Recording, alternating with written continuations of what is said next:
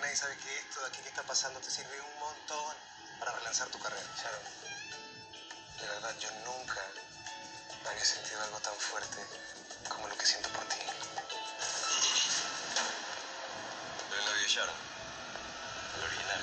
Y ese periodista Ángel, Pablo, ¿cómo se llame? ¿Es amigo tuyo o tienen algo? Sharon, la hechicera,